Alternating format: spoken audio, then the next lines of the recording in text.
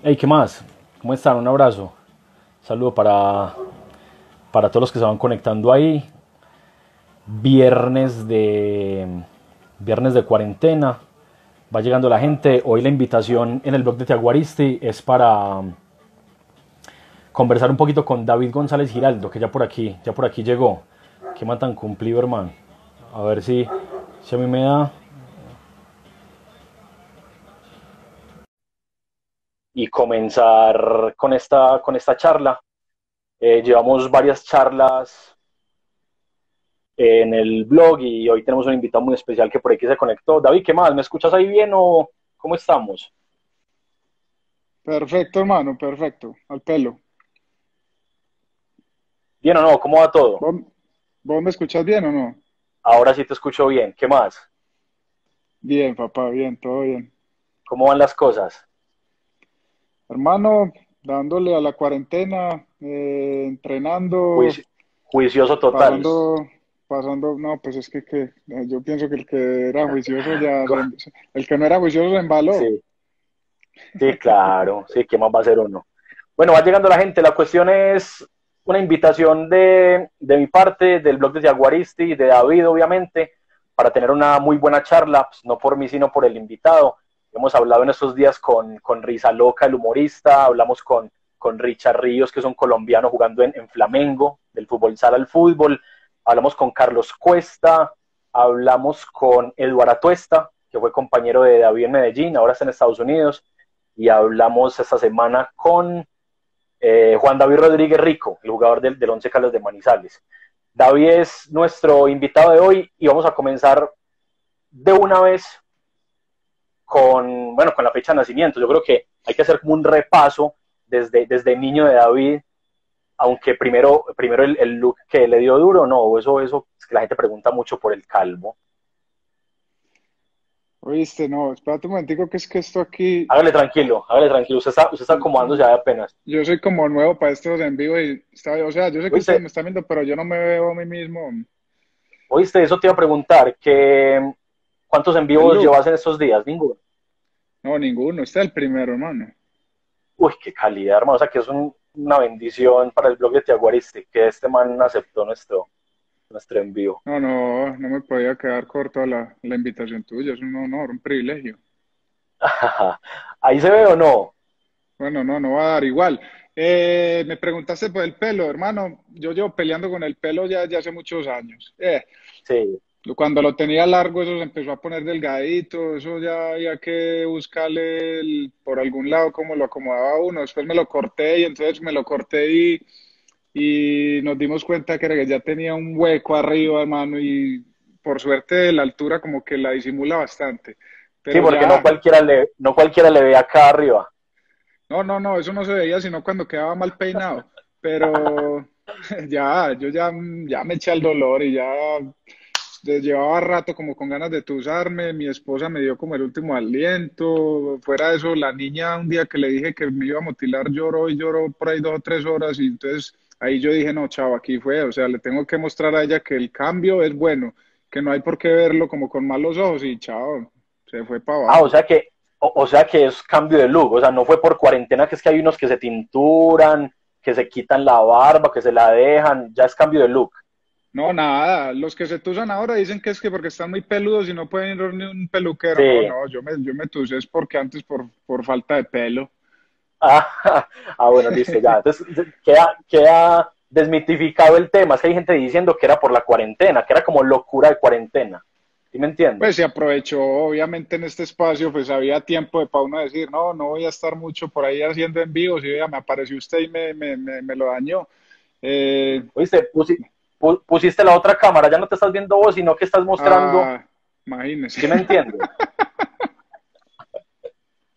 Estamos dando ahí los tenis puestos en el piso, los azulitos y las medias blancas. Ahora sí. Usted no se Sí. ve, yo me veo a mí, lo, veo a usted.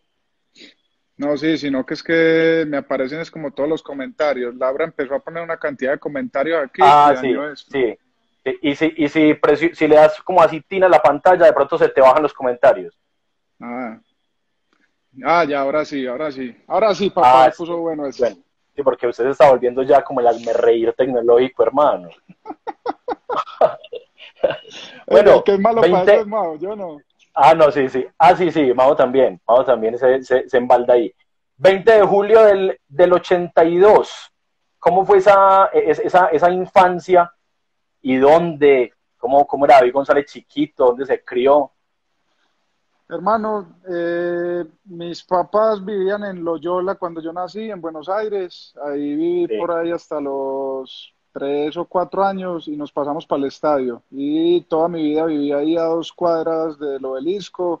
Eh, ahí fue donde me volví futbolero, jugando los desafíos ahí por la cuadra, yendo a ver partidos a la Marte 1, al templo del, del fútbol antioqueño y y nada, fútbol, fútbol y más fútbol. O sea que aparte de que jugabas, veías mucho fútbol, eras gomoso por ver.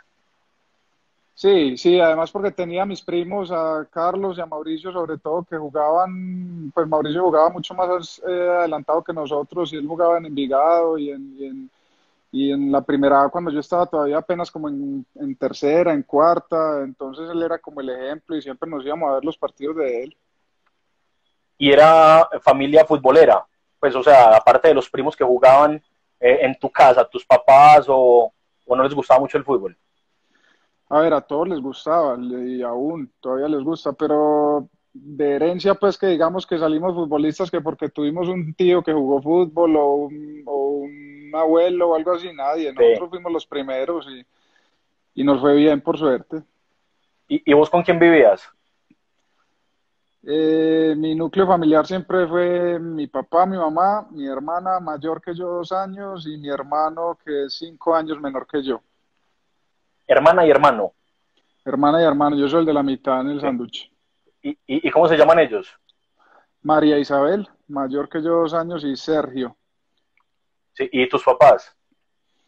Mis papás Darío y María Eugenia viven todavía. Bueno, sí, los, los conozco, muy, muy buena gente ambos. David, ¿vos qué, vos qué hermano eras? Eh, ¿Y qué hijo además? Cansón, tranquilo. Hermano, yo siempre fui como el más cuerdo de los tres. Siempre era como el del, el del equilibrio.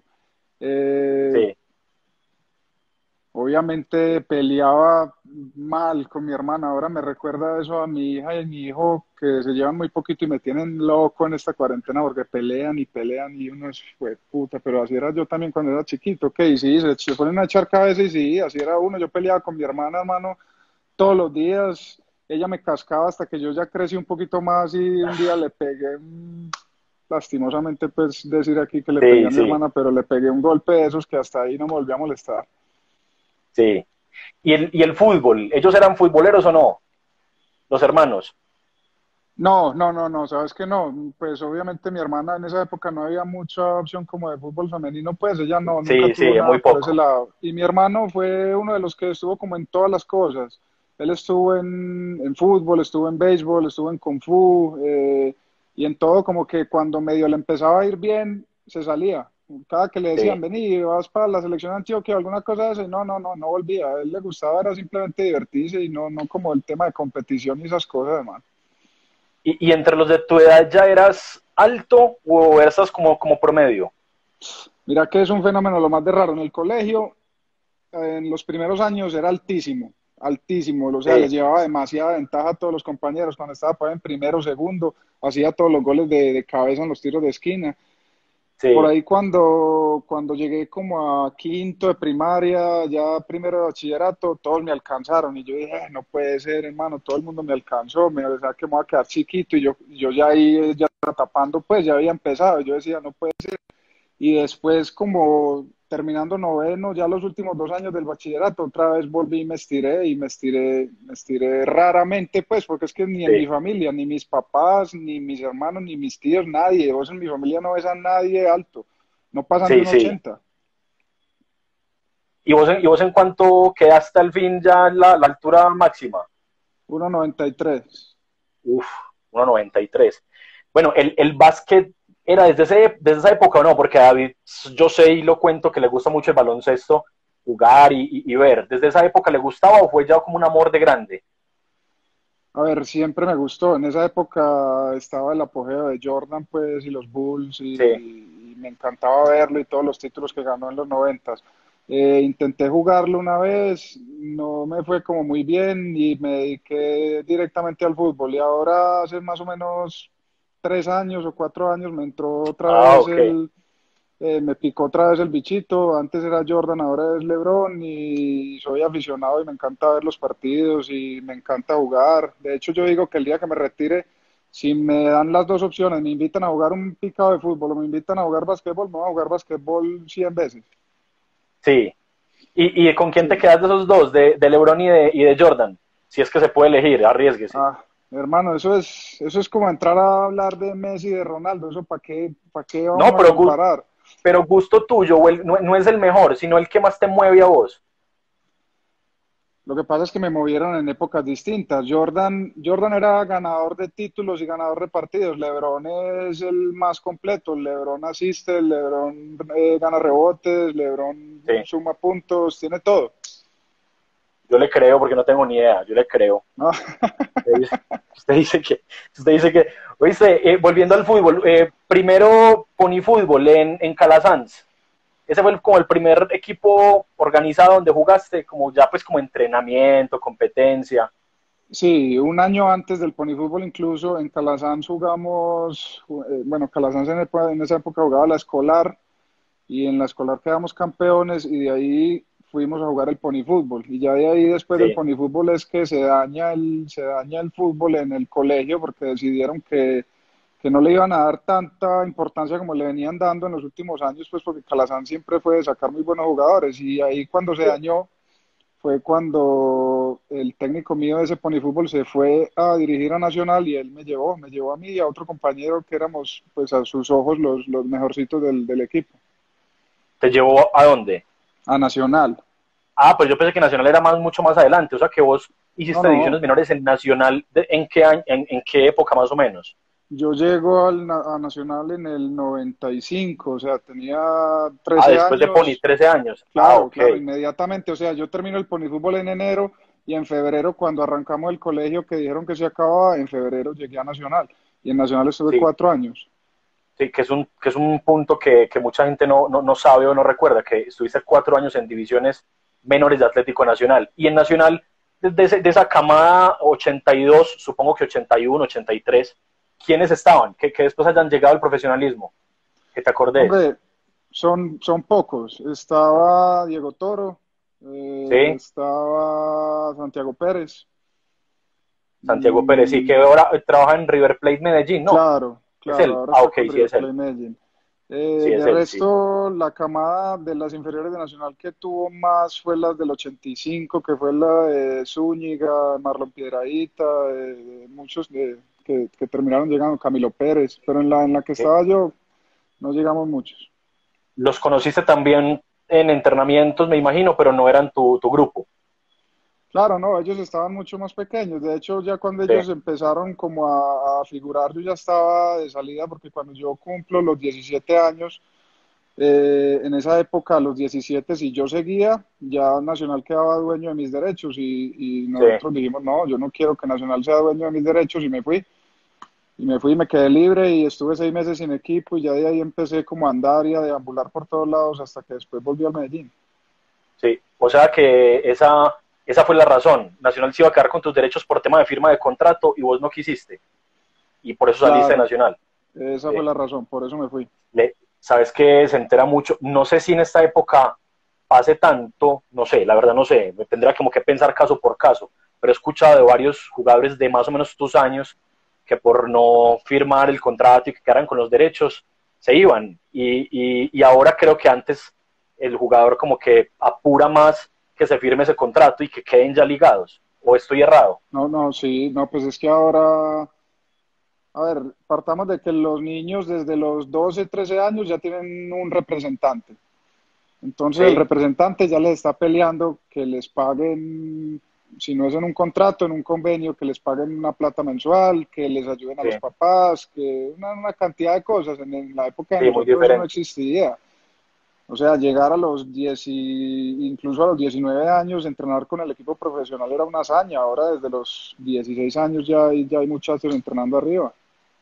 Sí, sí, sí. Y mucha gente se conecta y además muchos, muchos amigos del fútbol, amigos de David también, vamos a ir leyendo más o menos. ¿Usted está leyendo comentarios ahí por encima o no? Por encima, pero es que ah, sí. sí, sino que no, no, pero sí, yo sí leo un poquito. Porque hay mucha gente que, que pide el saludo. Obviamente no podemos saludar a todo el mundo, o no puede saludar David a todo el mundo, porque nos quedaríamos haciendo un, un, un live de, de, saludos. David, después de Nacional, vos salís, ya nos contaste por qué, y estuviste en Once Caldas de Manizales, un, buen tiempo incluso. ¿Cómo fue ese, ese paso por el equipo del Caldas? A ver, eh, Santi, yo cuando salgo de, Nacional, que me quedé seis meses libre, vale la pena decir eso porque en esos seis meses me puse a entrenar con Ormeño Gómez y después ¿Sí? me terminé encontrando con Ormeño del Medellín, pero bueno, esa es otra historia. De ahí yo me voy al Cali, no a Once Caldas, sino al Cali. Y en el sí, Cali sí, sí, sí. seis meses. Seis meses, seis meses. Aquí estuve con, con Carlos Portela.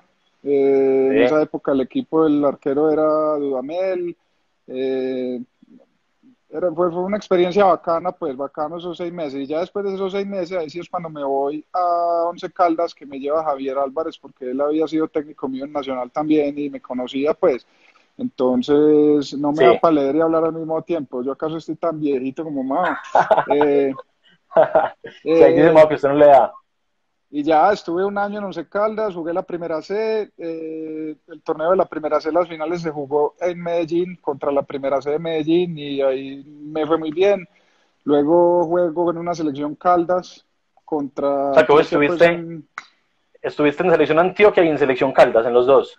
Sí, pero en realidad esa selección Caldas era, era un formalismo, pues, porque era la primera C de Caldas. Caldas que sí. le dieron para que fuera y representara, porque es que si no allá no hay, no hay otro equipo que pueda representar a Caldas.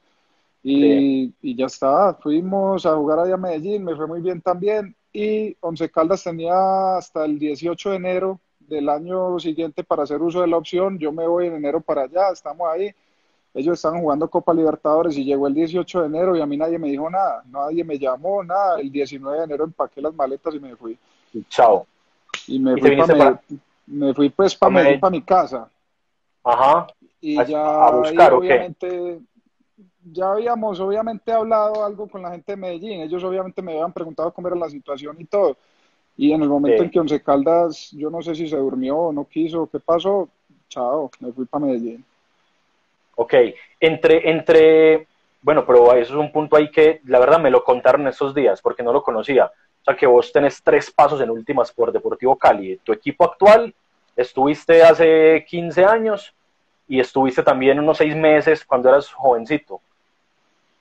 Correcto. Bueno, y también vale la pena decir que en Medellín también. En realidad, antes de irme al Cali, yo estuve en el Medellín entrenando, ah, entrené okay. casi dos meses con ellos, que ahí fue donde yo conocí a Choro, a Roberto, a todo ese grupo que estaba en ese momento, pero sí. por temas por temas ya contractuales que no pudimos llegar a un acuerdo con Comesaña, que era como el director en ese momento, yo me terminé yendo para el Cali. Pero sí, aquí ya es la tercera vez también. Sí. Son cosas, bueno, cosas del destino. Eh, cosas del destino, sí, como van, van uniendo y, a, y, de vez en cuando dan la vuelta y, y vuelven. Vamos a pasar obviamente muchos temas, porque pues, en, en, 40, en 50 minutos no podemos retratar eh, paso por paso la carrera de David, además una carrera tan larga y no le estoy diciendo viejo, sino que ha pasado por muchas partes. Pero eh, el, el, la llegada de ese Medellín y el debut, por esa, por esa época, la llegada de ese Medellín, que era, bueno, unos jugadores históricos, un montón de jugadores que luego hicieron una gran historia, pero que ya venían muchos de ellos con un, eh, unos formados con Medellín, otros iban llegando. ¿Cómo fue? A ver, yo recuerdo, recuerdo mucho en ese diciembre antes de llegar al Medellín, en el diciembre del 2001, que me fui con mi mamá para el estadio, a la pantalla gigante, a ver el partido de la final contra América. Sí. Eh, y yo, yo me sentía triste, obviamente, por, porque el Medellín perdía la final, pero también porque había muchos amigos míos ahí. Ahí estaba Orozco, estaba eh, obviamente Choro, Choto, muchos, muchos que habían estado conmigo en selecciones Antioquia, en selecciones Colombia y después cuando yo llego en, fe, en febrero o a finales de enero, pues obviamente yo no llego como un total desconocido, yo los conocía a todos, a los muchachos de la primera C que estaban recién también empezando en el equipo profesional, pues con todos había tenido la oportunidad de jugar toda la vida desde niño. Eh, o sea, fue, fue siempre, Medellín siempre ha sido como llegar a la casa, o sea, fuera de que es el equipo del que uno es hincha, el equipo que uno quiere, eh, termina uno, pues yo pienso que las cosas le salen bien cuando uno termina llegando a la casa. ¿Qué llegó, que, bueno, llegó no, porque es muy difícil llegar aportando pues o marcando pues algo, pero ¿qué, qué le aportó usted, qué papel cumplía en ese Medellín? Que era un Medellín tan particular, a mí me parece que era un Medellín muy, con mucho barrio, con mucho conocimiento de la ciudad, con, con, con mucha calle, con mucha personalidad, eran jugadores muy despiertos todos. ¿Qué papel cumplía usted ahí? Obviamente ligándolo con el Medellín 2001, 2002, que fue pues una camada que iba cambiando, pero que es más o menos el mismo equipo. Hombre, yo cuando recién llego, en realidad el papel no era mucho. De hecho, yo empiezo a jugar, pues entrenaba con el equipo profesional, pero jugaba era con, con en, ese, en esa época Medellín tenía una primera B. Entonces jugaba era con ellos. Medellín tenía su arquero que era Leonel Rocco, el que estaba de suplente en ese momento era Johan Cerón y yo estaba como tercero. Eh, después eh, Juan José Peláez me empieza a llevar algunos partidos de suplente más para cumplir la norma que, por otra cosa. Y eso generó como un poquito, obviamente, de, aburrimiento de Johan Cerón, que sintió como que no le estaban de pronto respetando la posición o algo así. Al final él se termina yendo, en el segundo semestre llega Reinaldo, llega Agustín Julio, eh, yo vuelvo a quedar como tercero, y después pasó pues lo que yo creo que ya todo el mundo sabe, la varicela del uno, la lesión del otro y fuera de eso el empujón de, de Víctor Luna y de Choro y de Choto para que, para que me pusieran a mí. Yo tengo, hay una anécdota que a mí no se me olvida nunca, hermano, y es entrando a un camerino después de un partido. Yo todavía no jugaba con, pues entrenaba con ellos, pero no había debutado. Y creo que habían perdido o habían empatado al último minuto. Y Choto entra al camerino bravo y diciendo una cantidad de groserías y entre una de esas cosas que él decía era, eh, a nosotros, porque siempre los arqueros nos entierran? Siempre, toda la vida es lo mismo, los arqueros nos entierran. Y yo, y yo lo miraba y yo decía, eh, no puede ser, eso hay que cambiarlo, hay que cambiarlo. Y eso a mí me marcó. Y después cuando yo empecé a jugar, obviamente había presión, porque yo decía, estos manes piensan que el arquero siempre lo entierra y, y, voy a debutar yo bien joven toda la cosa, aquí no la puedo cagar, pero por nada del mundo y por suerte pues las cosas salieron bien.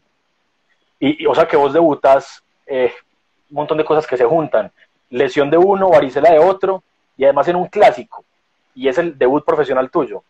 Claro, y fuera de eso hay una historia muy charra y es que hasta la, hasta la, hasta el día, o sea, hasta el almuerzo, en el día del partido, Reinaldo, Reinaldo no se había decidido a quién meter, o sea, Reinaldo quería meter a Agustín fue el que le dio la varicela y a Rocco era el que tenía como una, Rocco tenía una contractura, lo del tuyo de Agustín fue después. Y él lo quería meter con la contractura como fuera. En eso yo creo que también ahí es donde te hablo del empujoncito de Víctor. Y pienso que, que Ciro, que era el médico en ese momento, también tuvo que haber empujado. Entonces al final termino yo jugando, clásico, toda la cosa. Pienso que dentro de todo me, me fue bien y ya el tema fue después, al siguiente partido, como me había ido bien, la gente decía, no, pues dejen al pelado, denle otra oportunidad, lo que sea. Recuerdo que era contra Tolima y llegamos al hotel, en toda la semana no se supo quién iba a tapar, eh, llegamos a la charla técnica y recién en la charla técnica fue que él se decidió por poner a Rocco. Sí.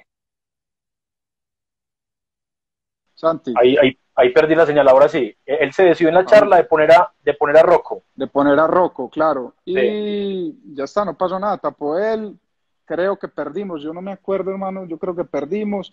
Y entonces ya de ahí entra a tapar eh, Agustín, que ya se había recuperado de la varicela. Y ahí es donde eh, empieza Agustín, jugamos un partido contra Junior en el Natanasio que salimos en tanqueta. Eh, y de ahí creo que nos fuimos a jugar a Jardín, un partido contra Unión Magdalena, ya después de eso, Ya después de eso fue cuando a Reinaldo le llegó la oferta de irse a dirigir la, la sub-20 de Colombia y se fue y subió Luna. Y desde que Luna llegó el primer día, Luna me dijo, vos sos mi arquero. Vamos a ver cómo vamos a, cómo vamos a hacer, pero vos sos mi arquero. Y justo esa semana es cuando Agustín se lesiona el tobillo y, empecé a tapar yo. Y le, y le quitó un poquitico de presión a Luna también. O sea, que, que Agustín estuviera lesionado ya digamos que tenía otro punto ahí para jugársela con usted.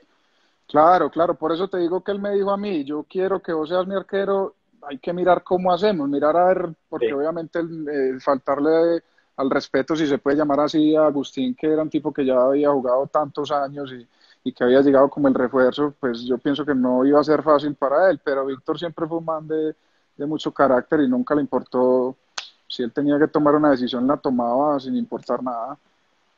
Eh, mencionaste ahora a, Choronta y a Choto porque los conociste cuando internaste unos, meses con Medellín. Obviamente Mao no estaba en ese momento en Medellín. Mao llega después, ¿cierto? Y, y, en qué momento o cómo fue que se hicieron tan amigos? Porque en Selección Antioquia creo que no compartieron. No, en Selección Antioquia no compartimos. La, él, era, él es 80 y vos 82. Mao, Mao es como del 77, ¿no? No, pero los papeles dicen 80. yo no sé, ese marica es muy viejo. Eh, Mao y yo nos conocíamos del, del fútbol aficionado, pues, por, porque por las elecciones de Antioquia, pues él estaba en una más, más alta que la mía, eh, y obviamente pues porque todo el mundo sabía quién era Mao, eh, por lo menos en el fútbol aficionado en Antioquia, ¿sí o no? Yo creo que la primera vez que nosotros coincidimos fue en una selección Colombia que fuimos a Tulón y a mí me llevaron, yo era el más jovencito de ese equipo.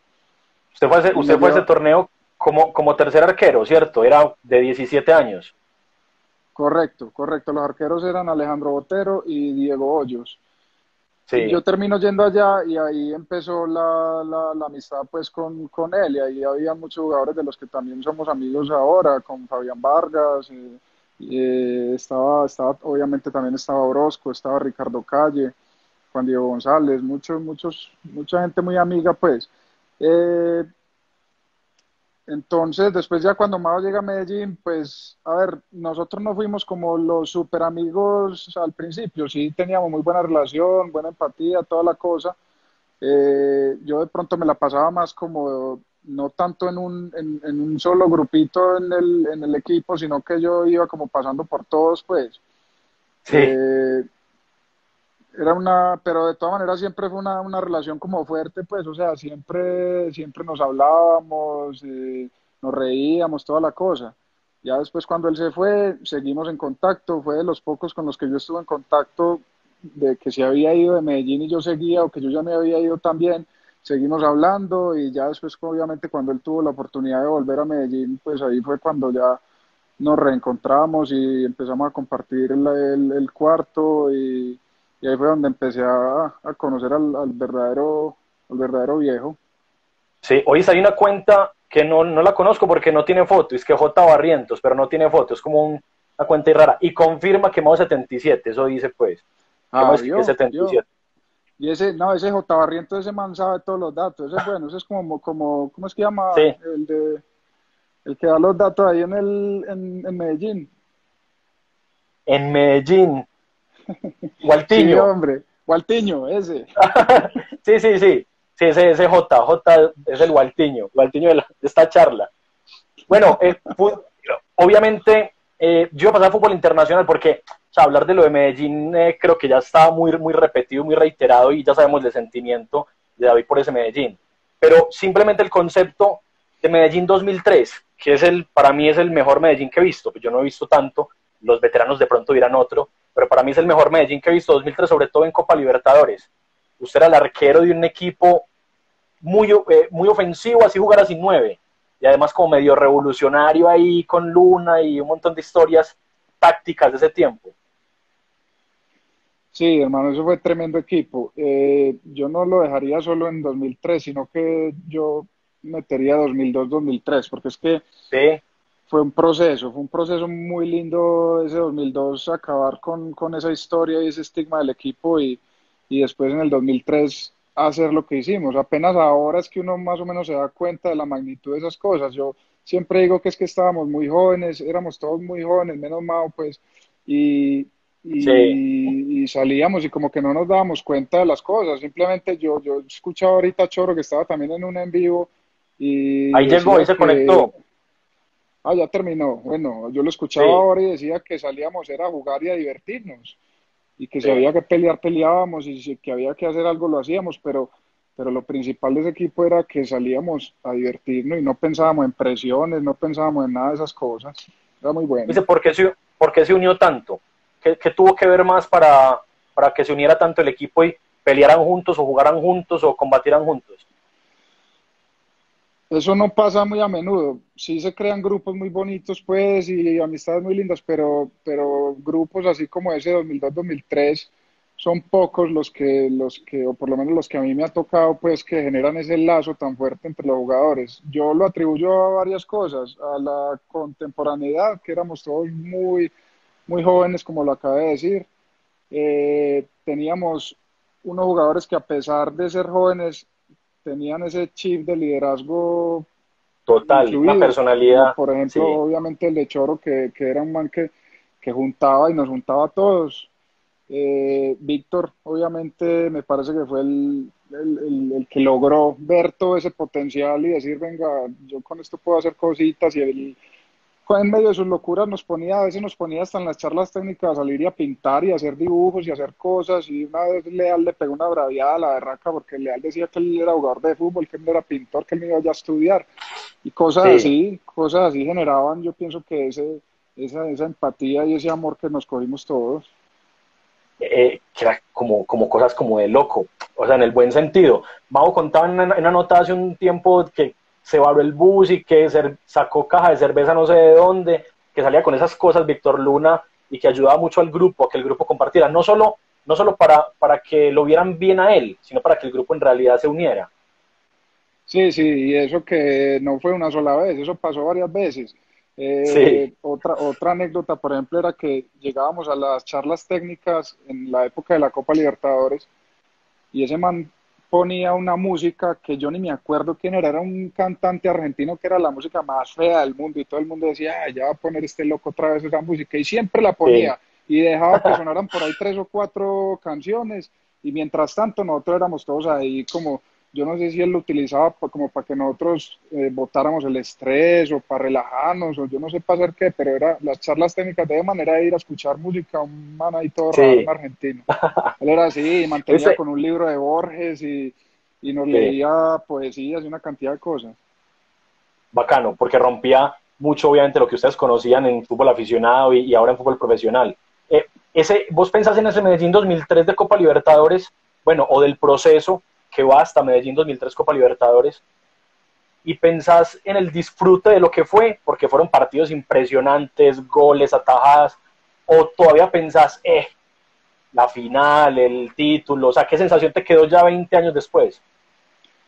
No, pues es que obviamente todo el mundo quiere llegar a una final, y más de Copa Libertadores, pues obviamente ¿A quién no le va a quedar doliendo cuando uno ve las imágenes de Mao llorando a moco tendido, hermano? No, como no, no se va a sentir triste, pero, pero uno se queda con lo otro, con que nos marcó una época, con que marcó una generación. Yo a cada rato veo por ahí encuestas de periodistas que dicen cuál fue el equipo que más le gustó en, en lo que lleva viendo fútbol, imanes viejos. Sí. Y, y, dicen Medellín 2003 y entonces uno como sentirse parte de eso y uno darse cuenta y ahí empezar a mirar y empezar a acordarse de los partidos, de las concentraciones, porque es que pasábamos muy bueno, las concentraciones eran, eran buenísimas, antes uno quería ir a concentrar, ahora uno ya no quiere irse para un hotel y en esa época nosotros nos queríamos meter allá para pasar tiempo juntos, para reírnos, para hacer bobadas, para ganar. He, leído en una sola semana a dos personas que dicen que Mao lloraba mucho. Acaba de decir Choronta, Choronta eso. Sí, sí, sí. Pero él, yo, lo vi, yo lo vi. Sí. Sí, sí, él siempre ha sido lloroncito. ¿Por qué te acordás, lloras de Mao? Que pesar de que pecaba de Mao, me noto aquí hablando mal de Mao. No, mal no, son historias. No, no, no. Ah, María, con decirle que ese man se ponía a ver novelas en la habitación y uno volteaba y tenía la lágrima ahí. Sí. y, él, y él dice eso de vos, que, que, vos eras el que veía unas cosas raras ahí en las concentraciones en televisión. No, no, yo sí tengo un pecado. Yo me vi una novela una sola vez, que fue que mi señora me enganchó una vez con una novela ahí malísima, pero de resto yo no. En, la, en, la, habitación de nosotros en realidad no me prendía el televisor. Es más, Mao no lo sabía aprender. La próxima vez que lo vea, le pregunta que si él era capaz de prender el televisor del Hotel Dan Carton. A ver qué le dice. No, pero, Sí, pero ahorita le dijo que usted estaba embaldado y que usted no podía ni, ni leer hablar al mismo tiempo. ¿Viste? Eh, ¿Cuál fue esa novela? Pues, ¿Cómo vas a decir que una novela ahí no vas a decir cuál te enganchaste? No, es que me da esta pena. No, pero bueno, hay que decirlo. Mi señora me enganchó con Silvana sin lana. Se llamaba así. Silvana sin lana. No, no la tengo. No la tengo. Otro tema que no puedo opinar porque no la tengo. Silvana, pero ya grande. ¿O, o qué época fue eso?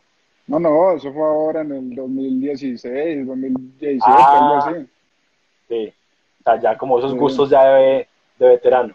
Bueno, fútbol, fútbol internacional. Eh, primero, eh, no, pues no podemos extendernos mucho en cada uno, pero Turquía y Argentina. Turquía, vida musulmana, me imagino. ¿Qué ciudad estuviste? ¿Cómo fue? Estuve en Rize, es una ciudad que queda a todo el oriente de Turquía sobre el Mar Negro, en la frontera con Georgia. Eh, una ciudad completamente tradicional, nadie habla inglés. Eh, viven del té, una ciudad de 80 mil personas, no tenía centro comercial, no tenía McDonald's, no tenía nada, pero pasé delicioso, me encantó, eh, ahí fue donde tuve como mi primera experiencia también con mi esposa de vivir juntos, porque ella estaba terminando la universidad. Eh, el fútbol se vive con mucha pasión, jugar en, en los estadios contra Galatasaray, Fenerbahce, Besiktas, todo eso fue muy bacano, me marcó mucho, pero lo que más me marcó sí fue la, la cultura como tal, tener la oportunidad de experimentar eso, de, de, verdaderamente vivir en una ciudad musulmana, no tanto como Estambul, pues que es más cosmopolita, pero muy bacano. Después Argentina, yo creo que fue de pronto de los únicos pasos que yo no me arrepiento de nada en mi carrera, pero ese paso yo pienso que no lo debía haber dado, yo me debía haber quedado en Turquía eh, me sedujo una llamada de un empresario que me dijo que me llevaba, que me ponía a jugar no sé dónde, no sé dónde, y eso nunca pasó. No, no, Huracán fue un salvavidas que salió en la última noche cuando cerraban las inscripciones, ah. y fue por la amistad, por la amistad del tipo que me había comprado el pase con el presidente. Y cuando yo llego al otro día a entrenar a Huracán y me le presento al técnico, el técnico me mira y me dice, ¿vos quién sos? No tengo ni, o sea, no, no tenía ni idea que venías. Iba a llegar un arquero, sí. No, no, eso fue terrible. Fueron seis meses desastrosos. Luego a los seis meses ya cuando llegó Capa la cosa cambió un poquito. Eh, pero, pero fue un año donde no, no, no, tuve la oportunidad de jugar. ¿Aprendiste de, de, Capa o no? O, fue tampoco el tiempo que no te quedó mucho? Hombre, porque de Capa se menciona mucho, pues, obviamente su, su tema táctico, su tema lírico no es que haya sido poco el tiempo, sino que en esa época yo no estaba pendiente de eso. A mí en esa época todavía no me interesaba la dirección técnica y a lo mejor no veía la diferencia entre, entre uno y otro. Sí me sorprendió desde un principio que fue un man que nunca dejó al preparador físico eh, agarrar a los jugadores, no deja, cerró el gimnasio, no dejaba entrar los jugadores al gimnasio, todo era con pelota, todo era fútbol, todo era juego. Y junto, y junto a, o sea, el, el mérito de, de, ese huracán es de él, porque es que Pastore y de Federico eran suplentes con el otro técnico que estaba antes de él, no, o sea, ni, ni suplentes, jugaban conmigo en los, en los partidos de reservas. Y eso todo lo cambió Capa. Bravo, bravo. O sea, como determinaciones tan, tan fuertes y que seguramente no muchos técnicos lo van a hacer ni, ni lo hacen. Sí, que fuera de eso es un tipo que no tenía nada que perder, es un tipo que no le importa si lo echan al otro día, no le importa si a lo mejor no le pagan, él, él, nada más con, con, vivir fútbol, con ir y, hacer en la cancha lo que él tiene en la cabeza, con eso es feliz. No le interesa que el presidente le diga que no, que el que sea le diga que no, él con eso vive y, es contento con eso. mencionaste que, que, vos estuviste en Turquía con, con tu esposa, o sea, la conociste obviamente antes de ir a Inglaterra. Yo pensé que había, habías, conocido En, Inglaterra. No, no, no, yo la conocí, todavía jugaba en Medellín, la conocí en el 2004 cuando estábamos de vacaciones después del título del 2004 contra Nacional. Yo me voy para Cartagena con mi hermano y con mi mejor amigo y allá la conocí. Y, ah, estuvimos ella estaba viajando, haciendo, o vivía. Ella estaba, no, estaba de vacaciones en Cartagena porque ella era esa amiga de, de un par de colombianas, unas mellizas colombianas con las que estudió en el colegio y se la habían traído. Sí, ah, ok. Y, y, con ella estuviste en Turquía y en Argentina. Con ella estuve en Turquía. En Turquía fue eh, como que iba y venía, pues ya había más proximidad con Inglaterra, pues porque ya estaba terminando la universidad y ya ahí la terminó y en Argentina sí nos fuimos y vivimos ya juntos desde, desde ahí, desde el 2000, 2008, 2009. Ok, una época muy interesante, David, el, el fútbol en, en, el Reino Unido. Eh, primero, ¿cuál fue? ¿El City? ¿A qué equipo llegaste primero? Porque vos estuviste como en tres o cuatro equipos.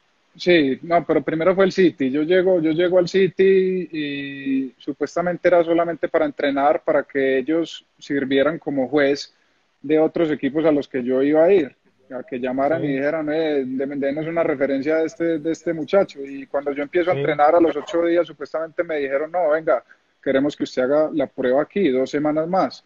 Y que hice las, hice las dos semanas, yo me acuerdo que yo le decía a mi esposa, yo le decía, no, yo en este equipo así sea de aguatero me quedo.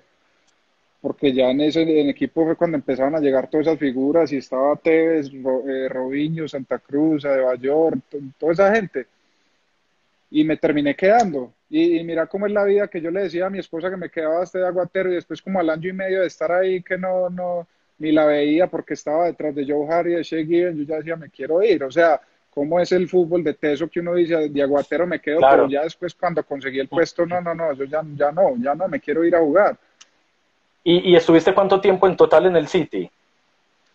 En el City estuve tres años, pero de esos tres años estuve seis, seis meses prestado en Leeds, Leeds ah, United. y, seis meses prestado en Aberdeen, en Escocia, que allá fue donde nació mi segundo hijo.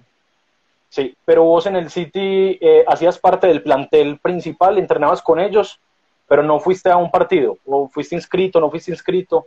Sí, yo siempre estuve con ellos desde que llegué, desde el, primer día. Eh, inscrito yo creo que sí estuve, habría que ir y mirar las, los libros. De hecho, yo viajaba con el equipo porque allá siempre viajan tres arqueros.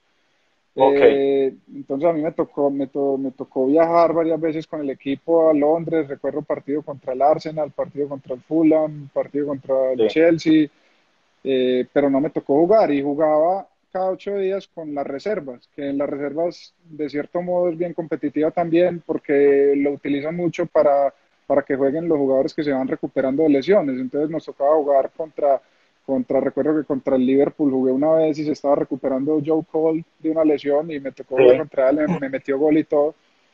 Y cosas así, contra el, claro, y contra el United también me tocó jugar contra los, los, los hermanos brasileros, ¿cómo era que llamaban? Rafael y... Y Rafinha, los hijos, los hijos de Maciño, no no me acuerdo que jugaban de laterales, uno de lateral y pero bueno. Sí, bueno, creo que Rafinha, pues, me, imagino que estamos hablando del mismo.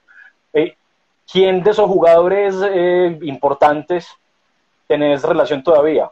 O, no fue tan, tan fuerte el vínculo en ese tiempo? Porque ya había figuras, o sea, ya era un City eh, comprador y con buena inversión. Sí, y además de eso, también agregarle que yo, a pesar de entrenar con ellos, yo me sentía como, como que no encajaba.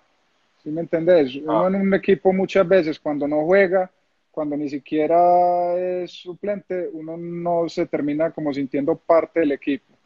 Eh, hice buena relación con todos los suramericanos, con Santa Cruz, con Zabaleta, de pronto es con el que más contacto he tenido y de hecho, cuando nos enfrentamos después en la eliminatoria, hablábamos y cambiamos camisa y toda la cosa. Con él, con Santa Cruz, con Tevez, con Javier Garrido, que era un español que jugaba ahí, eh, y con los arqueros, pues. Pero así que yo te diga que ahora me voy a ir a chatear con, con David Silva o no. de esos, no, no, no, no, nada. Ese me confundí yo, sí, era, era, era Rafael, no Rafiña, sino Rafael, Rafael y Fabio.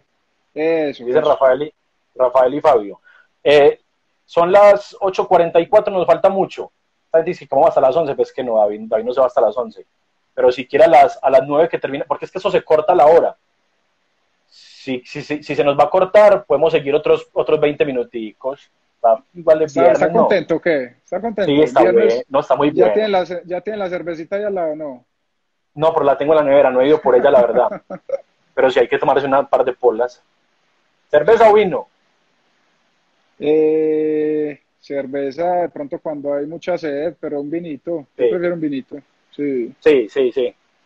Bueno, vale, vale, vale. Entonces lo cambiamos por vino. Ojo, ojo, eh, que yo todavía soy jugador activo, no me hagas esas preguntas. No, pero es que usted, como si ustedes no tienen vacaciones, ustedes no tienen vacaciones, ¿o qué? Oíste, vos, ¿qué, qué, equipo recordás con más cariño de, para mí, City, Aberdeen, no sé si Brighton, Brighton y Barnsley y Leeds? Brighton, Fueron cinco equipos. Sí. Uf. Ah, no, es que fue un rato. Sí, sí, sí. No, y, y, anduve bastante. Ya en ese último, en ese último semestre antes de venirme para el Pasto estuve yendo a entrenar con muchos equipos, pues, porque ya tenía una gente conocida y, lo dejaban a uno entrenar. Estuve entrenando con equipos ya que de pronto aquí no conoce mucho la gente, pues, de segunda división y de tercera división, Notch County, Preston, eh, varios, varios. Pero sí, se anduvo bastante por allá. Oíste, eh, vos estuviste en selecciones Colombia, selecciones Antioquia, Medellín, campeón, ya eras un o sea, el David Grande luego ya formó una idolatría y demás, pero ya eras un referente y un campeón con Medellín. ¿Cómo te sentías de estar yendo casi que a probar ese equipo? Así sea, así sea el Real Madrid, o sea, equipos grandes ingleses, pero ibas, ibas y, e intentabas, o sea, no, era, no eran cosas tan fijas. Me imagino yo, o sea, ¿cómo, cómo, lo, cómo lo veías? ¿O humildemente ibas no, no, no. Al principio, al principio es duro, es duro. A ver, si vos vas a decir que vas a hacer una prueba al, al Manchester City, de pronto no te da tan duro porque es que pues es el Manchester City, como pero como fue al inicio. Claro, pero ir, ir a prueba a algún equipo que vos consideras que incluso está por debajo del nivel que alguna vez vos tuviste, eso golpea bastante, golpea mucho. Hay que tratar de cortar el ego ahí en todo momento. A mí eso me costó bastante. Yo pienso que mi señora me ayudó mucho en ese sentido, hasta el punto que ya como que lo dejé, lo dejé. O sea, es, como más o menos lo mismo que hablábamos del pelo ahora. O sea, yo, yo digo, mm, si me estoy quedando calvo, pues me estoy quedando calvo y ¿qué vamos a hacer? Me motilo y ya está. ¿Cuál es el problema? Sí o no, es lo mismo que es lo mismo en el fútbol. O sea, si en este momento no hay, no hay, no hay equipo, no hay contrato y yo todavía quiero seguir jugando fútbol, pues hay un equipo que me está abriendo las puertas y sea una prueba, pues voy. ¿Cuál es el problema? Lo, lo, más malo que puede pasar es que me digan que no y arranco y me voy para otro lado. Solo hubiera sido capaz, o sea, sin, sin tu esposa, porque es que, porque es que es muy, eh, o sea, decirlo en general y muchos años después, supongo que es mucho más fácil que que, vivir esa cotidianidad, porque es que vos vas y vuelves a tu casa 10 horas a pensar, a esperar, te llaman de Colombia. ¿Qué tanto sirve? ¿Qué, tanto apoyo? O sea, no, apoyó mucho. ¿Qué tanto se le da como el crédito? Definitivamente yo me hubiera devuelto para Colombia inmediatamente, pues. Pero obviamente nosotros ya teníamos también una familia establecida allá en Inglaterra. O sea, obviamente mi esposa es de allá, vivíamos a dos cuadras de mis suegros, eh, nacieron mis hijos allá, entonces como que yo en realidad en ese momento ya estaba era más radicado allá, yo ya me veía era más viviendo allá que acá en Colombia. Entonces por eso era como, como buscar, además allá pues tenía conocidos gente del fútbol, pero nadie más, no es como aquí en Colombia que uno se puede mover por, por, otros, por otros caminos. Allá no. Sectores, sí. De hecho, yo, de hecho, yo muchas veces le decía a ella, volvamos a Colombia, volvamos, volvamos, volvamos. Y ella me decía, no, todavía no, todavía no, todavía no. En algún momento vamos a volver. Eh, Medellín siempre va a estar allá para vos. Esperemos, esperemos, esperemos. Hasta que ya llegó el momento en que se dio y ya está, nos vinimos. ¿Cómo fue esa decisión de venir a, a Pasto y no venir a, y no venir a Medellín? Que me imagino que hubiera sido pues lo ideal para vos. No, obvio, obvio, pero es que en realidad no hubo nunca cómo escoger porque Medellín no estuvo. O sea, era, era venir a Pasto o, o venir a Pasto. Y en realidad, en realidad la, la, avenida Pasto fue porque mi primo estaba en Pasto, Carlos Giraldo, y yo toda la vida quise jugar con él. Y entonces, esta es una anécdota bien chistosa. Él me llama, él me dice, mira, eh, venite para acá, y esto, esto y esto, aquí armamos algo bien bacano, tan, tan, tan. Yo la cuadro con mi familia, toda la cosa, y listo, nos vamos. Empiezo a arreglar con el, con el presidente, con el técnico, tan, tan, tan. El día que arreglo, lo llamo y le digo, Carlos, listo, hermano, ya estamos. Y me dice, uy, no, ya acabé de arreglar con Once Caldas. Y yo dije, no, pues, ah. Sabiendo que la, sabiendo que la gran motivación en parte era, era jugar con él. Estamos hablando de Carlos Giraldo, para los que no lo tienen así por el nombre, el volante de la moñita, jugadorazo. Yo siempre quise que Carlos jugara en Envigado. Incluso le escribí por Twitter varias veces y nunca me respondió, pero bueno, no, no vino a Envigado, hermano. Ahí le cuento esa anécdota mía. Se agrandó, pero así fue la cosa. Entonces terminé yendo a Pasto sin Carlos Y en Pasto cuando llego a los ocho días me partí el tobillo y me devolví. Entonces mi familia ni siquiera alcanzó. Claro, mi familia ni siquiera alcanzó a venir a Colombia. Ellos apenas estaban arreglando las cosas para venirse. Y yo llamo desde Perú, que fue donde me partí el tobillo, a mi esposa y le digo, necesito que seas fuerte en este momento para mí, necesito que me ayudes, me, me devuelvo a, a, Inglaterra, me pasó esto, esto esto. Yo lo primero que hice allá en Perú fue hablar inmediatamente con la gente del City y que me... Ahí me están diciendo los compañeros que temprano que hay que madrugar. Eh, termino hablo con la gente del City para que me hicieran el contacto allá con un médico, porque era tanto el, el, arraigo mío en Inglaterra que yo lo primero que pensé fue, yo en Colombia no me opero, yo me voy para Inglaterra y me opero en Inglaterra y me recupero allá. Y arreglé con Pasto para, para yo mismo costearme la, la operación y la recuperación y después ya cuando volví a Pasto ya era ya estaba, ya, o sea, ya era en el segundo semestre. Yo llegué a Pasto en enero, me lesiono y cuando vuelvo ya era en agosto. O sea, en realidad no fue que tuvimos mucho tiempo para estar ahí, pues. Sí, sí, fue poco. Muchos eh, amigos y, futbolistas que se conectan. Por ahí entró Agustín Palavecino, compañero tuyo, y por aquí a Cristian Blanco, también jugador de Nacional. Eh, David, vos, ¿qué pensabas en ese momento de, de Medellín? O sea, decías, bueno, no, pero, pero espero, eh, en cualquier momento se va a dar, o decías como que no, pues, o sea, ¿cómo no me van a valorar a mí sabiendo que vos serás una institución ya del equipo? Y lo relaciono mucho porque con Mao fue muy, muy similar, y con Mao años después también, si no hubiera sido por la presión de Mao y de varios, y de varias gente conocida de Mao, no se hubiera dado que le hubiera eh, vuelto, regresado a Medellín. No, es que lo mío también fue algo parecido, Santi. Yo, yo en ese momento, después de Pasto, yo paso a Águilas, donde paso a compartir otra vez con Choro. Y con Choro hablábamos mucho de eso. De hecho, cuando yo llevaba solo seis meses en Águilas, Medellín me buscó. Eh, en ese momento el que estaba director era Javier Álvarez, me buscaron y me dijeron pues que me querían llevar, pero obviamente había que entrar primero a negociar con Fernando y fuera de eso, pues lo que estaban ofreciendo era incluso menos de lo que, de lo que me daba mi Águilas, o sea, era, era algo, algo irreal, pues. sí, no, tenía razón de ser.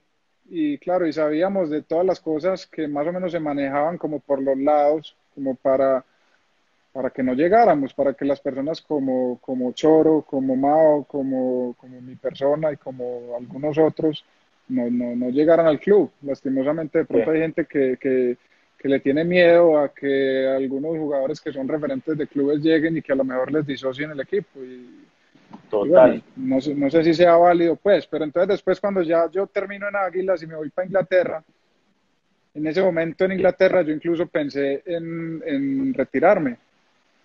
Ya, quedarnos allá viviendo, yo me iba a poner a estudiar obviamente el curso para ser entrenador, mientras, mientras tanto, no sé si me iba a poner a hacer personal trainer o alguna nada de esas. Y ahí es cuando, ahí es cuando me llaman, me llaman de, de Medellín, porque se había lesionado Bejarano, que se había, se había roto un dedo. Eh, empezamos a hablar, ah no, de hecho ellos salieron a la prensa colombiana a decir que habían hablado conmigo, pero que las pretensiones mías eran inalcanzables pues para el club. Y a mí nadie me había llamado. Entonces yo dije oye cómo así esto la misma historia esto? y entonces ahí sí. ahí sí llamé yo porque obviamente todavía tenía gente conocida Arley Cardona y una cantidad de gente y les dije hermano venga pasa esto. A mí estos manes están diciendo que me llamaron y que yo pedí un poco de plata a mí no me ha llamado nadie. Cómo es la cosa entonces empezó a generar un poquito de presión. Al final ellos me tuvieron que llamar al final tratamos de arreglar arreglamos a las bravas y llegué a Medellín y, pues ya, ya, ya, es historia, volvió y pasó como lo mismo de la primera llegada, es muy charro porque como que se repitió el mismo ciclo, yo llego, no soy titular, pasa algo, empiezo a tapar, pum, pum, pum, me quedo, salgo campeón y, toda la cosa, es como que repetir la historia otra vez. Sí, y la misma historia con, con Mao, que vivió lo mismo y llega a ser, a ser campeón luego con, luego con vos. Eh, en ese momento, en ese Medellín, ya sí tenías un rol diferente, ya grande, con un recorrido gigante. Digo el rol diferente al que tenías antes, no solo, por la, no, solo por, no solo por la edad, sino por lo que representabas también para la gente. Claro, y, y, mira que yo en eso tengo que agradecerle mucho a varios compañeros que tuve en ese momento, porque yo llegué y obviamente yo no era, yo no llegué para ser titular, yo llegué para ser el suplente de Anthony y yo eso lo tenía claro y, y, en ningún momento me molestó.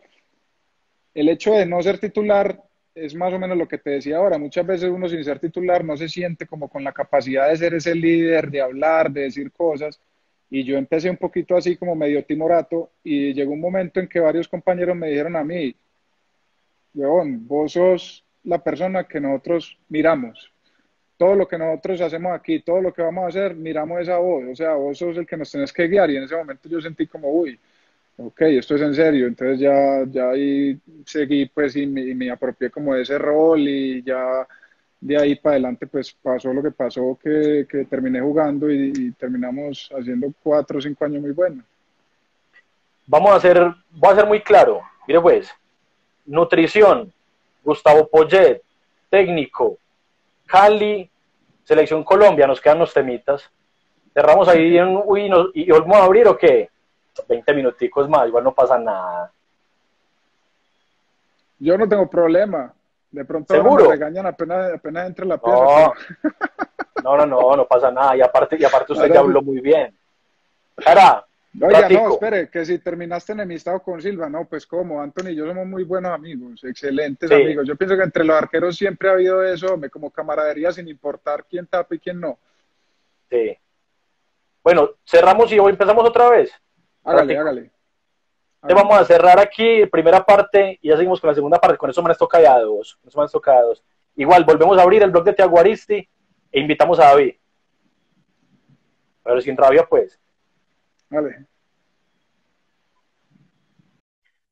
A los que se conectan, de pronto no siguen el blog, vale obviamente la, publicidad para que lo sigan, arroba el blog de Tiaguaristi y busquen Fútbol Sonero en Spotify. Estamos en comerciales. No alcanzo, a, pensar, no, alcanzo a pensar que lo iba a dejar tirado. Ya, no, no, no. Nunca se me pasó por la cabeza. Uy, no. ¿Vos te imaginas? ¿Qué hace uno aquí? Con, no, y con todo ese gentío. Mm. Bueno, va a llegar ya 150 personas en un minuto y van a ser muchos más porque faltan algunos, algunos temitas. Y repito, se nos van a quedar muchísimos temas por fuera y sobre todo los temas que tiene el hincha de Medellín en la, en la cabeza o los que tiene el hincha de Cali ahora eh, muchos temas van a quedar sin tocar, lastimosamente.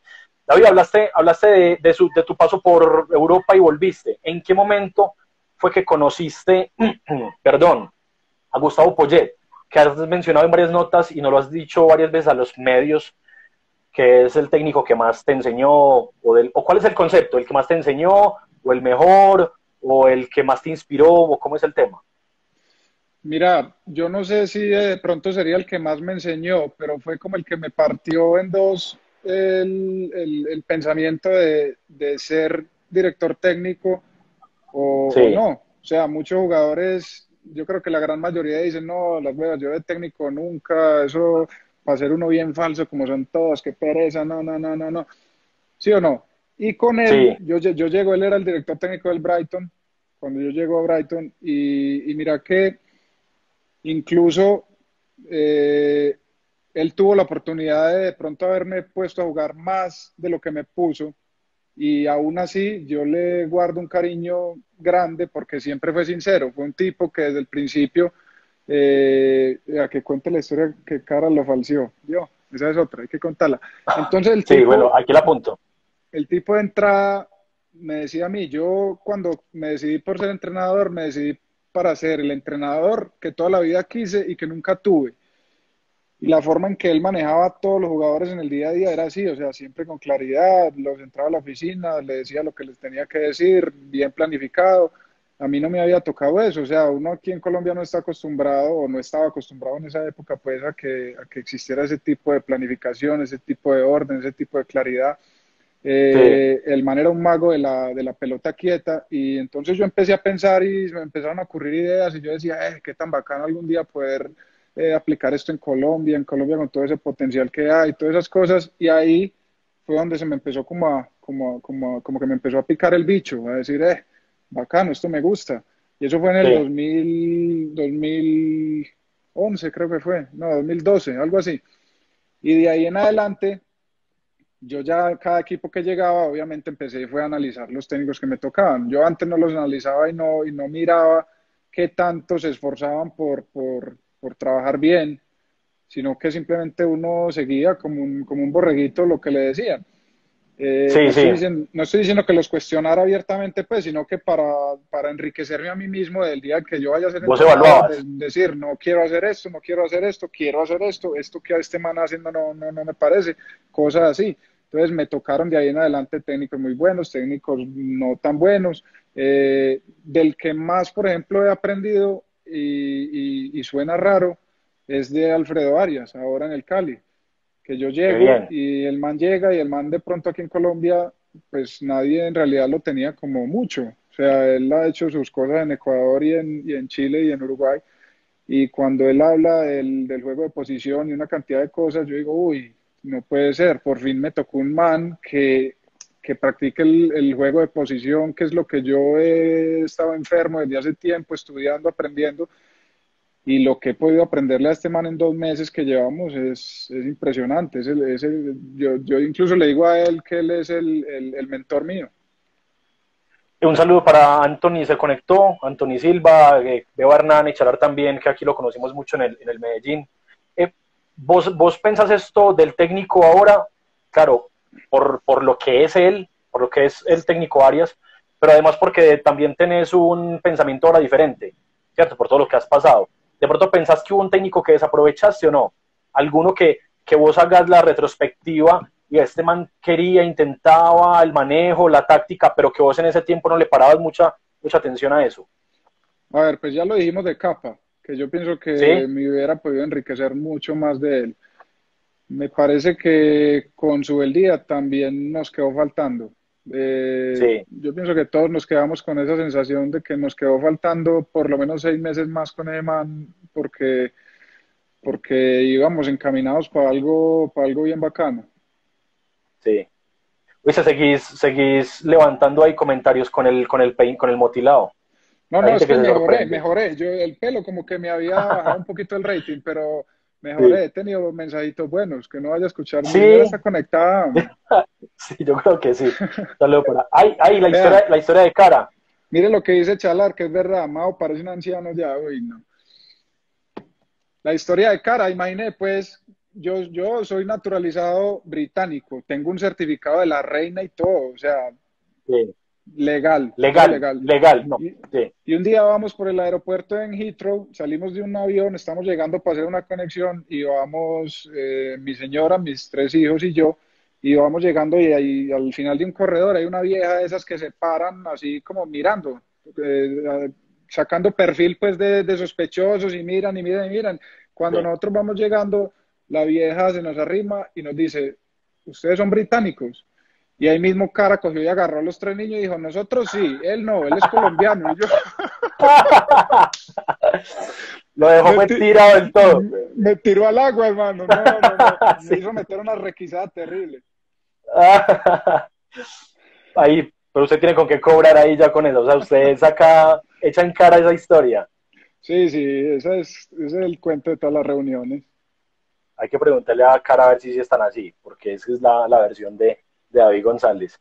Eh, David, volviste a Medellín y fuiste, y fuiste campeón con, con Mao, que lo mencionamos y, lo, y aparte le agradecemos que se haya conectado a la segunda parte, pero era como cerrar ese, ese capítulo, ese mini capítulo, de volver, de ponerle broche de oro a esa etapa, y además con un gran amigo que ya me imagino que ya eran grandes amigos de, de, de vida, o sea, de, de familias, de, compartir tiempo afuera del equipo.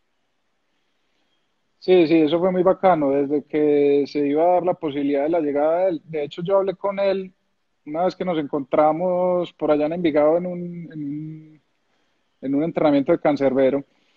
Y sí. ahí estábamos hablando de la posibilidad de que a lo mejor viniera, que no, que lo que le habían dicho, pues, y toda la cosa.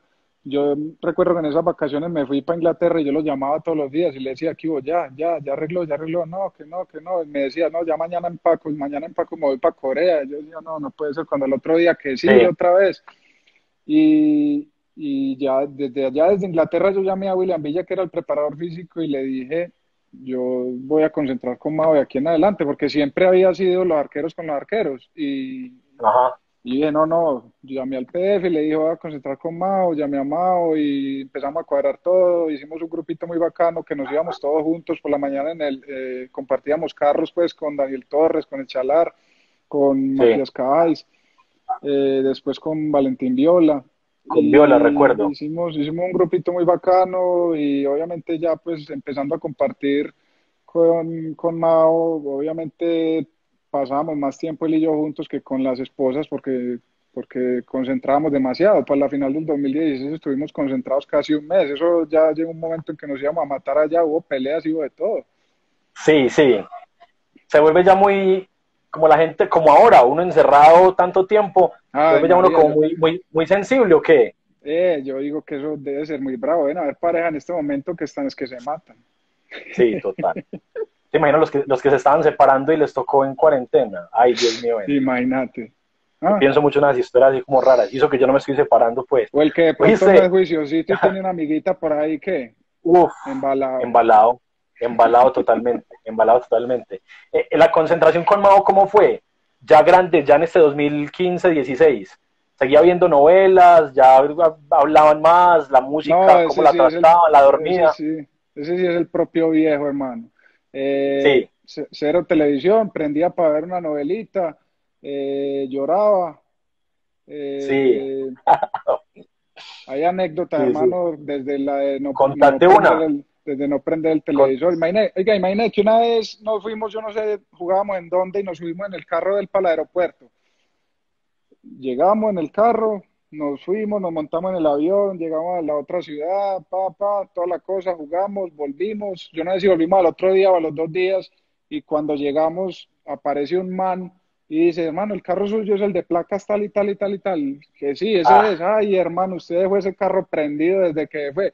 Lo dejó prendido. ¿Usted puede creer que el man dejó el carro prendido hasta que le acabó la gasolina? Y no, no, espera, ¿el carro, ¿el carro prendido o las luces prendidas? No, no, el carro. El carro. No le creo. No, no, eso sí es exageración, es en serio.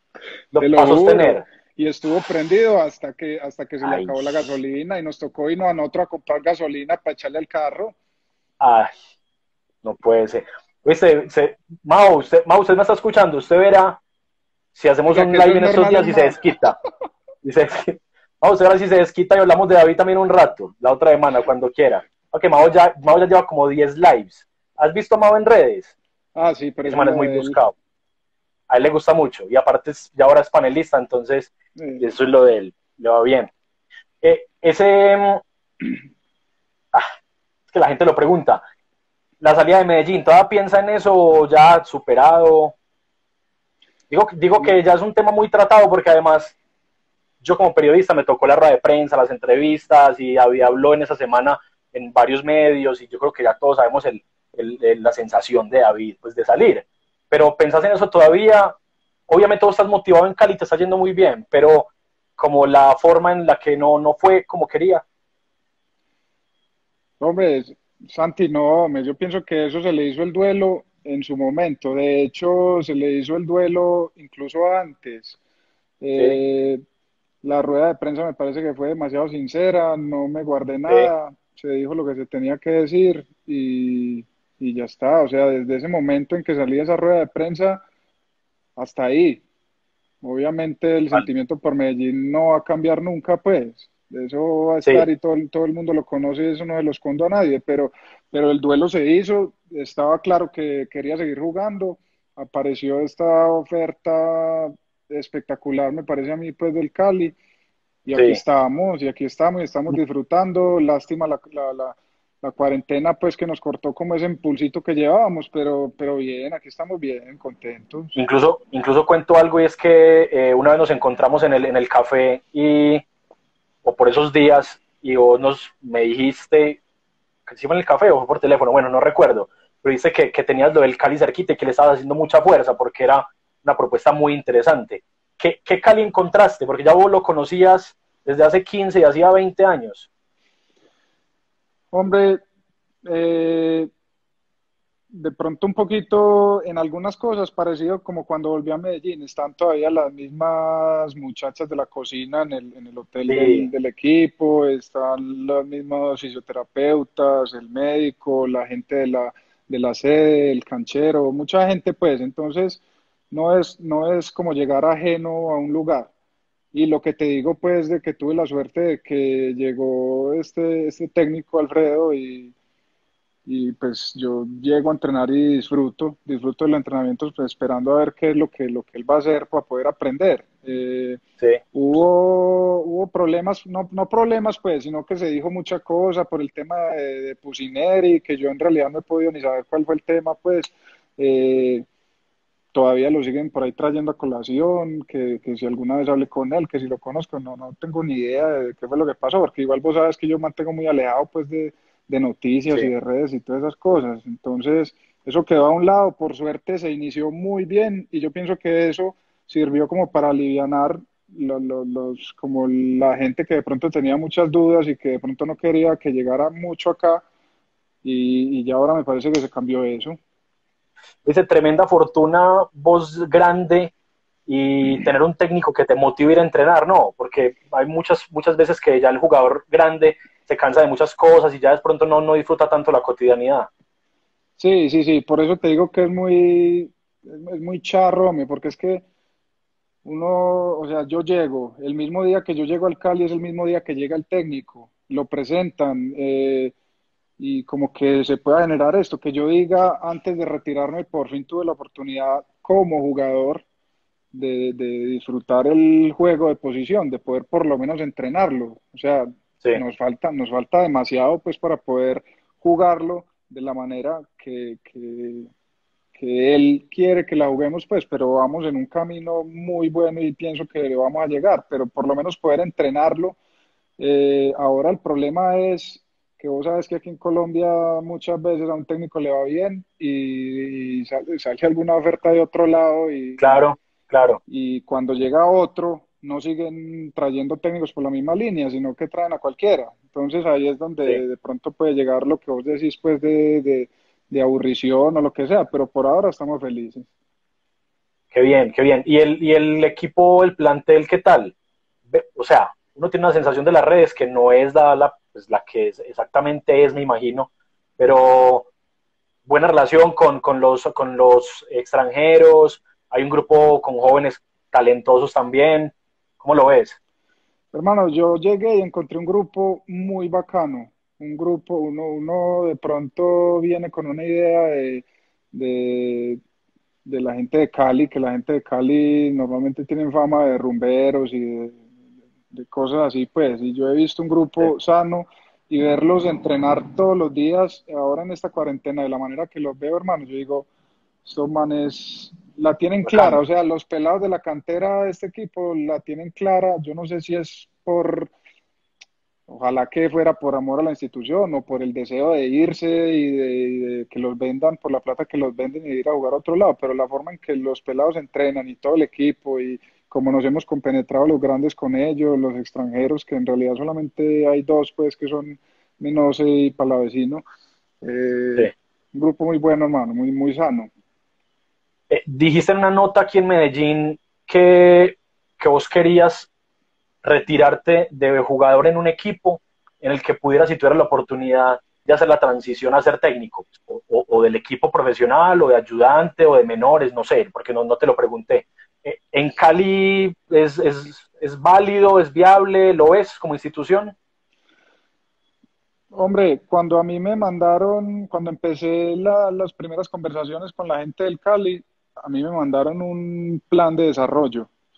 O sea, la cosa aquí es organizada, pues, y la manejan, la manejan bien. a mí me mandaron un plan de desarrollo que era el plan de, todo lo que es el, el, club, no solo equipo profesional, sino cantera, academia, todas las cosas. Y yo leyendo eso, yo me puse a ver y yo dije, uy, aquí hay, hay, hay futuro, hay cabida, hay muchas cosas. Y yo incluso le decía a mi esposa, es una lástima que que lo que de pronto siempre quisimos hacer en Medellín, a lo mejor lo terminamos haciendo en otro club. Pero pues es lo que hay. Se puede dar así, se puede dar así. Hey, antes de que, de que terminemos, preguntitas así rápidas, ahí como de actualidad, porque hemos hecho ya un recorrido muy grande y le agradecemos muchísimo de verdad a David pues, por la disposición, porque cualquiera no se pone aquí a hablar una hora con un, con un periodista y menos en viernes de cuarentena, además con la familia ahí cerquita. David, en cuarentena, eh, ¿cómo le va en la cocina? Eh, no, yo soy buen cocinero, lo que pasa es que yo tengo que tener la receta ahí, pero el problema, el gran ah, problema, el, gran problema que tengo yo, el gran problema que tengo yo en la cocina es que mi esposa cocina espectacular, entonces yo no necesito entrar por allá nada. ¿Sí o no? ahí fue como un, no, un gancho, ah. bueno, sí, gancho terrible. Si, si cocinas algo, ¿por qué lado te vas? Eh, a ver, hay que aclarar que yo soy vegetariano, entonces... sí, vegetariano, ¿vegetariano o vegano?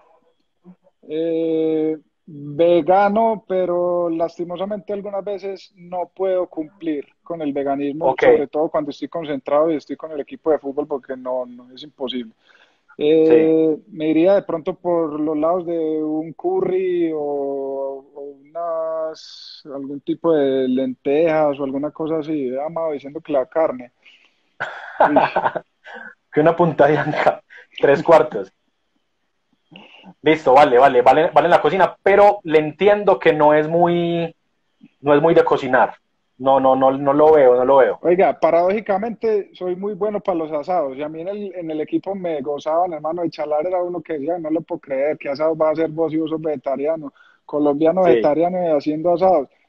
Soy muy bueno para hacer asados. Y ahora este, tenemos hamburguesas veganas y chorizos veganos. Y entonces, cuando es el día del asado aquí en mi casa, ese sí lo hago yo y me tocó ahora, yo normalmente lo hacía en una parrilla de gas y ahora me tocó que acá donde estoy viviendo, que era, es la casa de Diego Erner, eh, aquí en Cali, eh, él tenía una parrilla uruguaya, que es de las que uno tiene que quemar leña a un lado y va pasando las brasas para el otro y sube y baja la parrilla, entonces me tocó aprender y, ah, qué bien. y ya está. Oye, David, el tema de la nutrición, yo sé que en Medellín hablaste de nutrición y hablaste a los jóvenes de la nutrición, yo sé que en equipos has hablado en la parte administrativa para que se tome el, se tome el tema, lo, lo sufrís mucho, que en las concentraciones no puedas tener tu dieta, que, de pronto no se trate como se, como se deba, o que el jugador, el compañero tuyo, coma mal para vos según tu conocimiento, siendo un futbolista. A ver, no es tanto por el hecho de que yo pueda o no pueda comer lo que yo quiera, que yo trato como de, de mejorar esa situación, sino porque uno, yo por lo menos me he dedicado como a estudiar y a mirar qué hacen las diferencias marginales en, en, las competiciones. La diferencia marginal es lo que es poquitico, que lo primero obviamente es el rendimiento deportivo, lo que sea, pero hay cosas que pueden hacer diferencias cuando dos equipos están preparados igual. Y la alimentación es una de ellas. Entonces, en Medellín nos tocó sufrir mucho, demasiado, porque porque el futbolista colombiano no, no, no, no tiene buena alimentación. aquí eso nunca ha existido. Aquí nunca se le ha dicho a un niño que va, está proyectado para jugar fútbol que tiene que comer de cierta manera. Aquí siguen existiendo las hamburguesas, los perros, las, las meriendas de nosotros por la noche en el hotel antes de ir a jugar un partido de Copa Libertadores. Normalmente eran pasteles de arequipe, pasteles ah, de papitas fritas o a veces era una hamburguesa con una malteada de chocolate, una malteada de vainilla, o sea, cosas que no tienen, no tienen razón de ser. Entonces, más como por dar gusto o como por el tema placebo de, comer algo rico, pero para el deportista no es. No, no, no, no, para el deportista cero. Ahí me está diciendo Mao que antes del partido, eh, ese man sí que tiene para hablar cosas. Eh, antes del partido a veces nos daban un sándwich gratinado, unos palitos de queso con mermelada, daban unas cosas dulces, o sea, cosas que no tienen nada que ver con lo que un atleta necesita para ir a, para ir a quemar, a quemar energía, o sea, eso no, eso no, no, no tiene sentido. Lo que pasa es que eso aquí todavía apenas está llegando, apenas está empezando. Lastimosamente aquí, y, y a lo mejor me he hecho hasta enemigos a mucha gente, aquí la nutrición la manejan los médicos y resulta que vos vas y miras el pensum de medicina en una universidad y no existe la nutrición. Un médico estudia 10 semestres más especialización, más yo no sé cuántos años de yo no sé cuántas cosas y nunca ve nutrición. Y llega a un, equipo de fútbol a manejar el menú del jugador de fútbol. Entonces eso no tiene sentido. Sí. Eh, videojuegos, eh, ahora en cuarentena, ¿le metes al, al play, al fútbol o no? Nada, yo dejé el Play desde hace muchos años y no tengo ni siquiera Play aquí en la casa. Yo dejé el Play en Winning Eleven 4. No, a mí que era Play 1. Que era Play 1. No, pues, ah, claro, Play 1. Yo, me quedé, en, yo me quedé en el Play 1, claro, en el, y en el... ¿Cuál era el otro? Nintendo. Play 1. Super Nintendo. Ah, sí, antes del Super, sí, antes del Super. ¿Qué, qué, qué es lo que más lees? Eh, yo leo de todo, me leo de todo. Eh, por ejemplo, en este momento estoy leyendo un libro de Orwell eh, que se llama Rebelión en la Granja. Ahora estoy empezando como, me interesó como, me di cuenta como que de política no sé mucho, entonces estoy empezando a leer puros libros para aprender un poquito de política, como para uno poder hablar cuando esté por en una reunión o alguna cosa. Y cuando vas a leer de, de fútbol o de, o de táctica o de entrenamiento, compras libros o buscas en internet o con la conversación con los colegas? Tengo, tengo muchos libros, tengo fuera de eso una conversación constante con varias de las personas que yo pienso que voy a estar muy ligado más adelante, ya sea como cuerpo técnico o como colegas. Eh, estamos en una retroalimentación continua, mm, tirando conceptos, agarrando conceptos. Eh, el que de pronto lee algo interesante lo, no lo manda o si soy yo el que lo, que lo descubro lo mando yo y estamos así constantemente. ¿Y series y películas? ¿Qué tal ahí? Eh, no, me más bien poco porque es que con los niños toca, ahora, ahora me tocó ponerme a ver, me he visto una película que... David, discúlpame, de novelas pues, que a vos te gusta más ese... No, novelas sí, ¿sabes cuál me vi hace poquito? Toda la serie de Bolívar, que, la, que la tenían en Netflix, pero también más como por el componente histórico, me, me, me, llamó mucho la atención y como tratar de mirar distintas perspectivas del hombre. Bacano. Oíste, me, me, respondiste una vez o me contaste una vez hace unos años que por qué a vos te decían es que el rockero, sabiendo que al que escuchaba salsa no le decían el B, el salsero arango o el, o el reggaetonero Jaramillo, y que es que, es que el rockero González. ¿Seguís pensando, te cuestionas eso? Sí, lo que pasa es que todo, todo, todo se prestaba, el pelo largo, eh, la tocada de guitarra con la banda de la Resistencia para el CD, y que fuera de eso me gustaba el rock, me gusta pues, entonces por eso me dejaron así, pero es un, es un sobrenombre que es muy de las personas de no tan cercanas, o sea, en la prensa nacional, cuando ah, me entrevistan de Bogotá, cuando voy a Barranquilla, cuando voy a algún lado de esos, en Medellín a mí nadie me dice el rockero. Es verdad, es verdad, sí, en la prensa aquí no, no se le trata como el, como el rockero. Eh, ¿De rock eh, todavía fuerte, fuerte o qué género le metiste más? ¿En tu reproductor, en tu carro, en tu casa? No, a mí la, el gusto musical me lo dañó el señor Andrés Ricaurte, hermano. Es que con ese man con, ah. concentrando y ese man no escucha y no reggaetón, hermano. Entonces tocó. Sí, pero Andrés, ah, no, Andrés, Andrés es un grande. Andrés, yo sé que le gusta el rap, yo sé que le gusta algo de rap. No, mentira, Andrés es una rocola, Andrés es una rocola, es un crossover, lo que usted le ponga se lo sabe. Sí, pero sí, tocó variar, pero menos el rock, pues el rock sí le cuesta un poquito. rock lo escucho cuando estoy de pronto más eh, solo, ahora ando mucho con Estelares, una banda argentina que la escucho hasta para leer libros, me ayuda hasta a concentrarme, no sé por qué. Alguien mencionó ahora, alguien mencionó ahora Calamaro o, leí mal. ¿Te gusta mucho? Calamaro, mucho, sí. Aunque lo he, lo he tenido abandonado últimamente, pues, pero de, o sea, de tres años para acá un poquito abandonado. No sé, sé que ha sacado como unas nuevas cosas y algo así, pero de ahí para atrás y todo lo que quieras de Calamaro lo conozco. Sí, yo me encontré a Nájera y a Diego Varias en un concierto de Calamaro. Pensé que iba a estar usted por ahí, pero no sé si ese día jugaba. Un domingo en el el Metropolitano. el Metropolitano, o a lo mejor no encontré con quién ir, no, pero es que a mí tampoco es que me gusten mucho los conciertos. Ah, no. Ah, no. se me cae ahí un referente. Ah. sí. Oíste, bueno, vamos a cerrar. Yo he dicho es que vamos a cerrar con lo siguiente, yo llevo como como, como media hora. Esto sí es lo último, eso sí es lo último.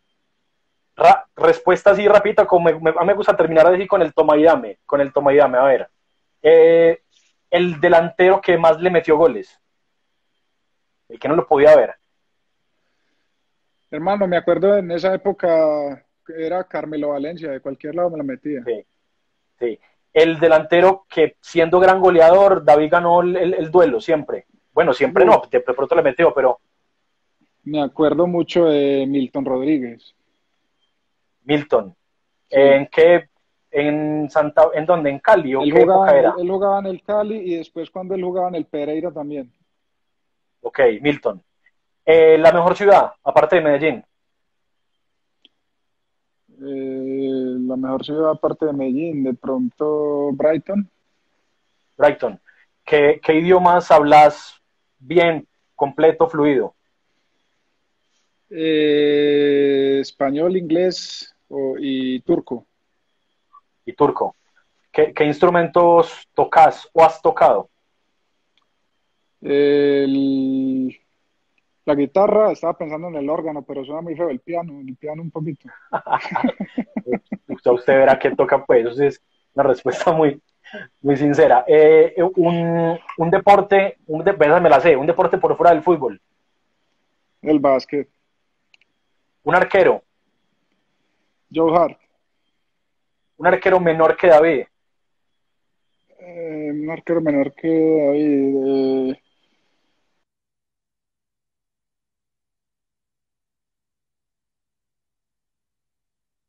Eh, Ospina y internacional Casper Schmeichel. Casper Schmeichel y, David Ospina, arquero por fuera. Eh, un, un, referente del deporte, pero que no sea futbolista. Para mí, LeBron James. No sé si tenga que ser de aquí de Colombia, pues. No, no, vale, vale, vale. Pero bueno, un poquito para conocer un poquito más, aparte del fútbol y del baloncesto. Eh, Uy, hermano. ¿De qué hablamos? ¿De ciclismo? ¿Qué? Metamos a. a un tenista, un atleta, a, un nadador. Ah, bueno, a Federer. Sí, sos más de Federer que de Nadal.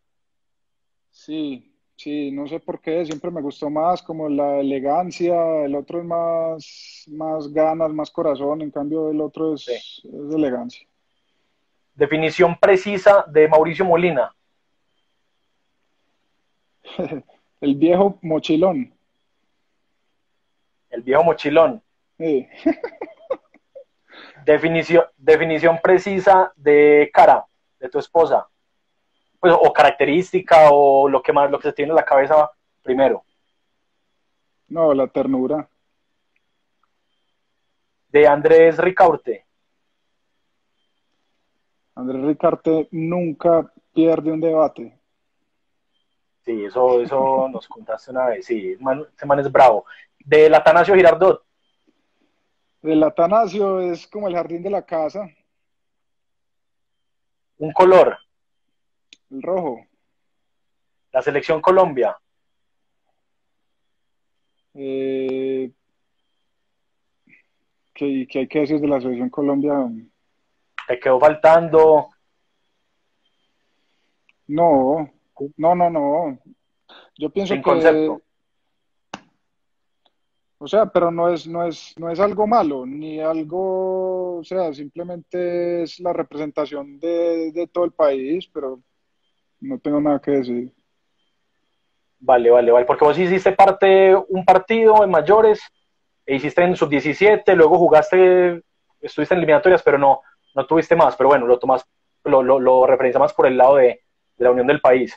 Y por último, eh, el Cali y el Medellín, cada uno, tu concepto. Eh, el Cali definitivamente es mi segunda casa, por eso es la tercera vez que he venido acá. Y, y el Medellín pues es, es, es mi familia. Vale. Diego, muchísimas gracias, hermano.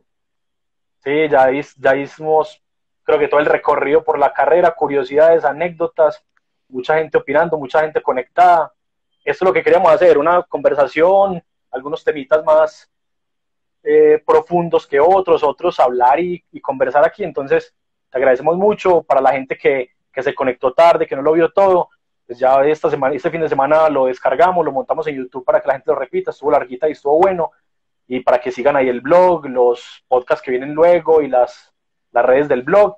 Y ahí estamos. Te agradezco mucho, hermano. Un lujo total y un eh, placer compartir con, con manes como vos aquí en el, en el, en el en vivo placer fue mío, papá. Un saludo para toda la gente. Yo sé que mucha gente mandó y que lo saludara y toda la cosa, pero queda muy difícil, pues. Un saludo muy especial para todo el que estuvo ahí. Un abrazo. Mándale un saludo a mi primito Matías que lleva dos horas viendo. Matías, hermano, para la cama a dormir. Un abrazo. hey, feliz noche, muchas gracias. David, gracias por todo. A Camao, a Jaime, los que se conectaron, a Cao, a Cara, a Laura, a todos. Un saludo, chao. Feliz fin de semana, hermano. Chao.